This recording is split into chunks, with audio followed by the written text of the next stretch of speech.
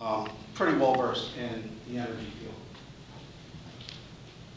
So today, we're going to get a good understanding of the 2009 IECC with respect to uh, the residential chapter, chapter four.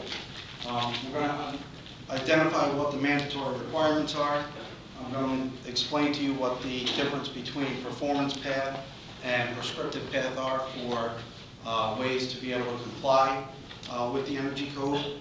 We're going to show you what the visual inspection checklist is, actually go through a couple of pictures. You guys uh, are going to have some exercises in there. Um, Does everybody have a participant guide that was given out when you first came in? Yes, okay. Because there's going to be, or there is exercises in there with respect to that.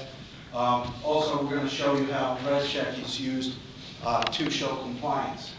And then down here on the bottom left of the screen, uh, you'll see that there are page numbers down there. Those page numbers refer to items that are in the participant guide. So on page two, uh, it's just a little recap of what we're going on, or what we're planning on doing here today.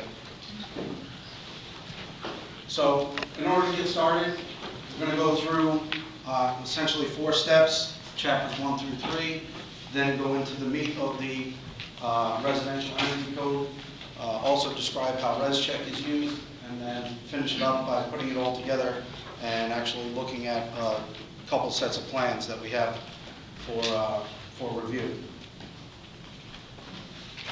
So as I said, uh, you guys coming in, you guys all got a participant guide when you came in.